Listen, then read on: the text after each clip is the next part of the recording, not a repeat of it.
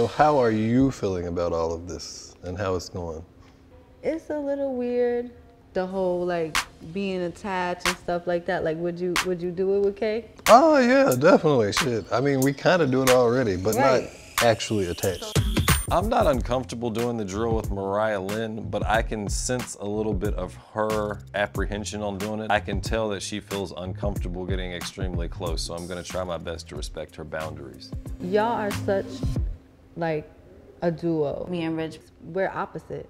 Like we're not attached to the hip. He has a place in Miami. He has a place in Atlanta and a place in New Jersey. And the place in New Jersey is not far from me. So mm-hmm. I just want it to feel like I'm not in a relationship with myself.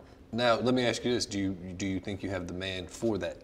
Like, do you think that he is capable of doing these things? He's never shown me that, but do I So- think he's capable? Absolutely. Okay, yeah. so he's capable, but he's never done it before. Right. It doesn't have to be a fairy tale ending, Mm-hmm. but I want the happy ending.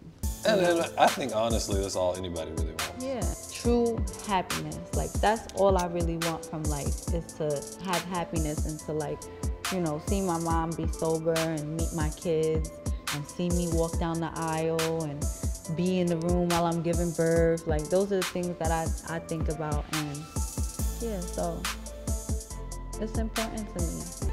Like the llama should be important to you. I gotta figure out how important the llama is really to her.